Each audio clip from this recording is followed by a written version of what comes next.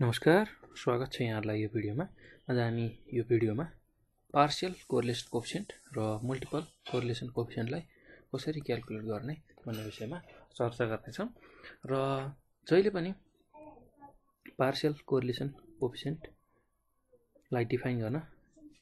हामी तिनवटा भेरिएबलको युज गर्छौँ X one X two X three र त्यसै गरी मल्टिपल कोरिलेसन कोफिसियन्टलाई डिफाइन गर्नु भने हामी तिनवटा भेरिएबलको युज गर्छौँ। र पार्सियल कोरिलेसन कोफिसियन्टलाई हामी R one two dot three त्यसै गरी R two three dot one र आर वान थ्री डट टूले रिप्रेजेन्ट गर्छौँ भने multiple correlation कोफिसियन्टलाई R one dot two three R two dot one three र R three dot one two यसले represent गर्छौँ। र मल्टिपल कोरिलेसन कोफिसियन्ट अथवा partial correlation coefficient calculate गर्नुभन्दा अगाडि हामी सिम्पल कोरिलेसन कोफिसियन्टलाई क्यालकुलेट गर्छौँ। सिम्पल कोरिलेसन कोफिसियन्टलाई र सिम्पल कोरिलेसन कोफिसियन्टलाई हामी R one two R one three र आर टू थ्रीले रिप्रेजेन्ट गर्छौँ। र आर वान टू निकाल्न हामी N into summation X one into X two minus summation X one into summation X two divide by root under N summation X one square minus summation X वानको whole square into root under N summation X टूको square minus summation x टूको whole square यो formula use गर्छौँ त्यसै गरी R one three निकाल्न हामी N summation X one into X three minus summation X one into summation X three divide by root under N summation X one square minus summation X वानको whole square into root under N summation X थ्रीको square minus summation x थ्रीको whole square यो formula use गर्छौँ त्यसै गरी R two three निकाल्न N into summation X two into X three minus summation X two into summation X three divide by root under N summation X टूको square minus summation x टूको whole square into N summation X थ्रीको square minus summation x थ्रीको whole square यो फर्मुलाको use गर्छौँ र यो simple correlation coefficient आइसकेपछि हामी partial correlation कोफिसियन्टलाई निकाल्छौँ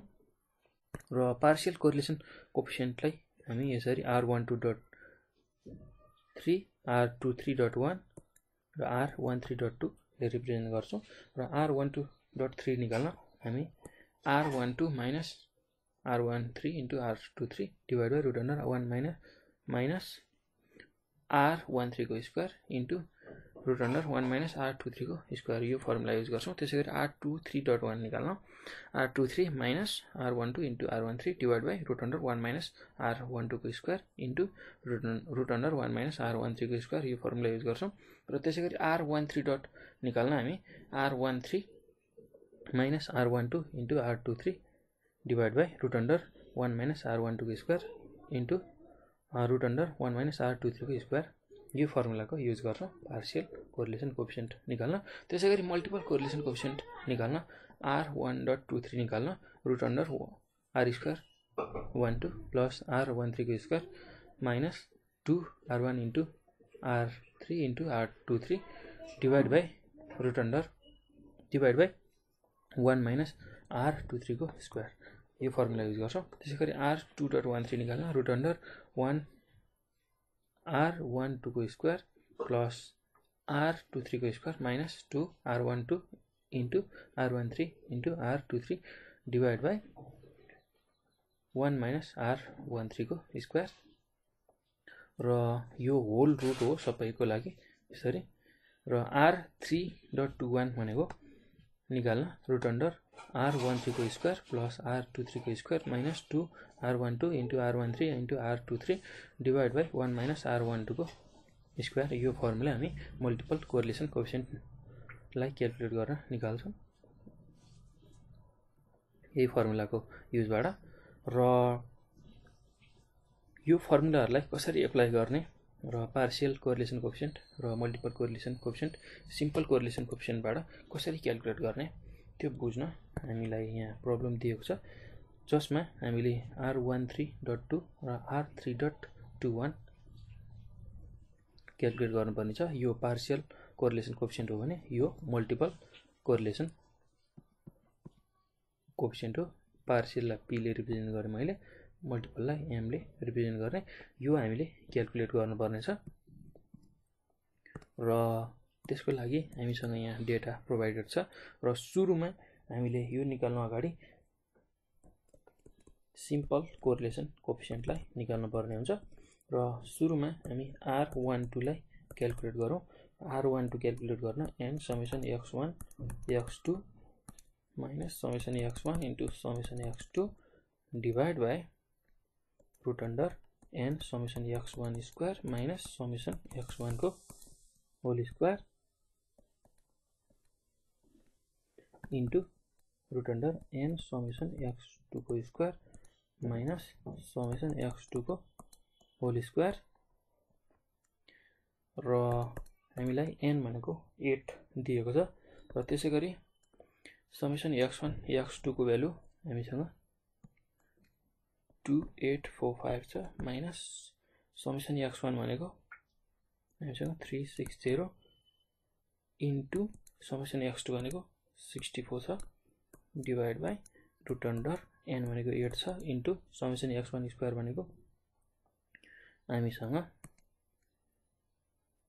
one seven one seven two छ माइनस समेसन एक्स वान भनेको हामीसँग थ्री सिक्स जेरो छ यसको स्क्वायर गर्छौँ। इन्टु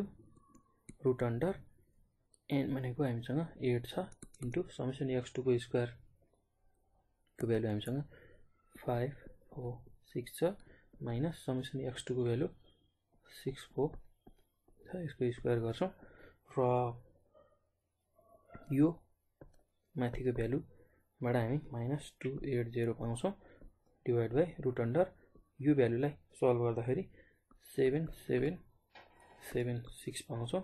इन्टु रुट अन्डर यो भ्यालुलाई सल्भ गर्दाखेरि टु सेभेन टू पाउँछौँ र यसबाट हामी finally minus zero point one nine यो भ्यालु प्राप्त गर्छौँ र आर वान टू निकालिसकेपछि अब हामी आर वान थ्री निकाल्छौँ र यसको लागि N summation X one X three minus summation X one X three divide by root under N summation X one square minus summation X वानको whole square into root under N summation X थ्रीको square minus summation x थ्रीको whole square यो फर्मुलाको use गर्छौँ र यसमा value राख्छौँ र हाम्रो एनको भ्यालु एट छ into summation X one into X थ्रीको value two two six nine छ। माइनस समेसन एक्स वान भनेको three six zero into summation X three भनेको four eight divide by root under N भनेको eight छ into summation x वानको square भनेको one seven one seven two minus summation X one भनेको three six zero यसको square into root under N भनेको eight छ into summation x थ्रीको square भनेको हामीसँग थ्री टू जेरो छ माइनस समेसन एक्स थ्री भनेको फोर एट छ यसको होल स्क्वायर गर्छौँ। र यो माथिको भ्यालुबाट हामी एट सेभेन टू पाउँछौँ भने रुट अन्डर यसको भ्यालु हामी seven seven seven six into root under यसको भ्यालु हामी टु फाइभ सिक्स पाउँछौँ र यसलाई क्यालकुलेटरमा थिच्दा हामी finally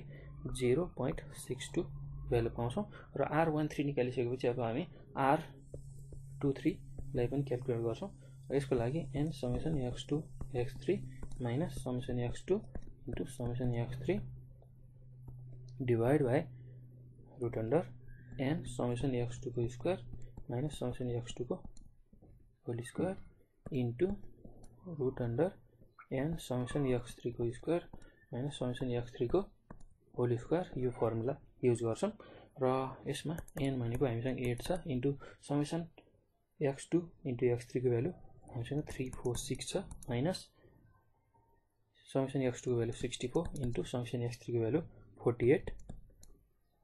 divide by root under n भनेको एट छ हामीसँग इन्टु समेसन एक्स टूको स्क्वायर भनेको five four six minus summation x two भनेको सिक्स फोर छ यसको square into root under n भनेको हामीसँग एट छ into summation x थ्रीको square three two zero minus summation x three भनेको फोर एट हो square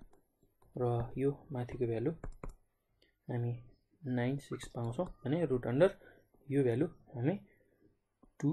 seven two into root under यो value two five six पाउँछौँ यसबाट हामी zero point three six.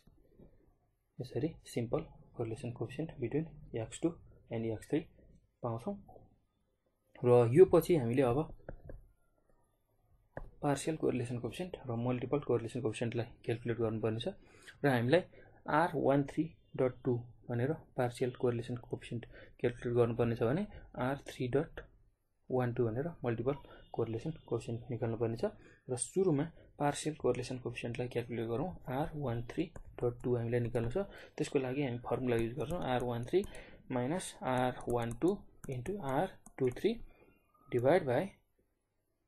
root under one minus R one टूको square into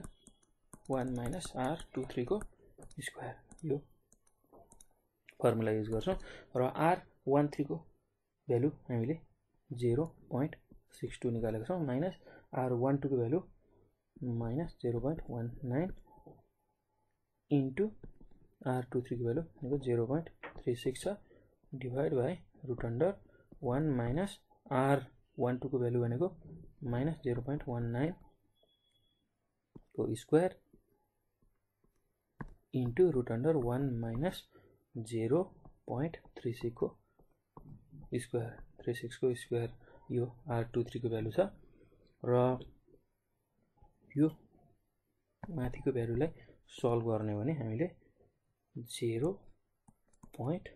six eight eight four पाउँछौँ divide by root under यो value भनेको zero point nine six three nine into root under zero point यो value eight seven zero four पाउँछौँ। र यसलाई क्यालकुलेटरमा थिच्ने भने हामीले finally zero point seven five two यो भ्यालु पाउँछौँ। जुन partial correlation coefficient between X one and x three हो किपिङ एक्स टू कन्सटेन्ट। र त्यसै गरी हामीले मल्टिपल कोरिलेसन कोफिसियन्ट निकाल्नु पर्नेछ जसमा एक्स थ्री डिपेन्डेन्ट भेरिएबल छ भने एक्स वान र एक्स टू यसको जोइन्ट इफेक्ट अथवा कम्बाइन्ड इफेक्टको रूपमा छ र यसको लागि हामी फर्मुला युज गर्छौँ आर वान थ्रीको स्क्वायर प्लस आर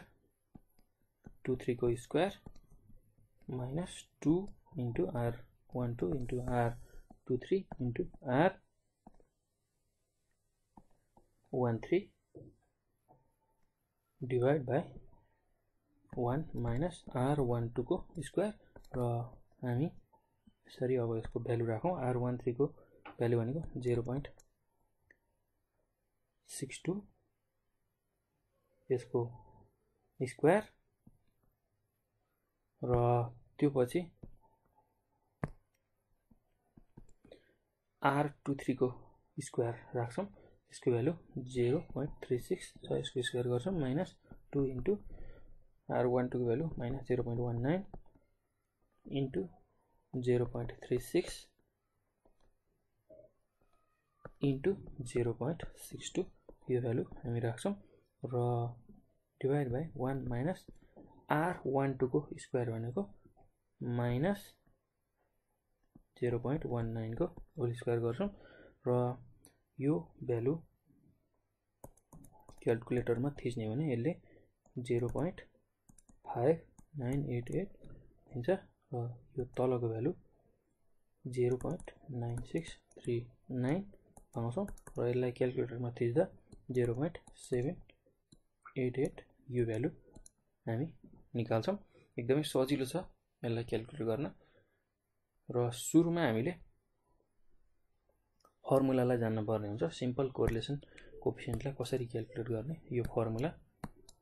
र यो निकालिसकेपछि पार्सियल कोरिलेसन कोप्सन निकाल्ने फर्मुला जान्नु पऱ्यो र मल्टिपल कोरिलेसन कोप्सन निकाल्ने फर्मुला जान्नु पऱ्यो र त्यही अनुसार हामीलाई कुन भ्यालु सोधेको छ हामी इजिली क्यालकुलेट गर्न सक्छौँ। एकदम सजिलो छ। यो भिडियोलाई ध्यान दिएर हेर्नु होला बुझ्नु होला र यो भिडियो हेरिसकेपछि यसलाई कपीमा दुई तिन पटक प्र्याक्टिस गर्नु होला त्यसले तपाईँहरूलाई धेरै सजिलो बनाउँछ। र क्यालकुलेटर सही तरिकाले थिच्नु होला यो क्यालकुलेसनहरू एकदम इजी छ। नातिकन क्यालकुलेटर थिच्नु होला त्यसले हामीलाई सही भ्यालु दिन्छ। र तपाईँहरूले विशेष गरेर फर्मुला जान्नु पऱ्यो र फर्मुलासँगै क्यालकुलेसन सही तरिकाले गर्नु पऱ्यो क्यालकुलेटरमा सही तरिकाले भ्यालु राख्न जान्नु पऱ्यो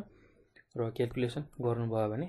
सिम्पल कोरिलेसन कोफिसियन्ट यसरी र मल्टिपल कोरिलेसन कोफिसियन्ट यसरी इजिली क्यालकुलेट गर्न सक्नुहुन्छ। एकदम सजिलो छ। यसलाई हेरिसकेपछि प्र्याक्टिस गर्नु होला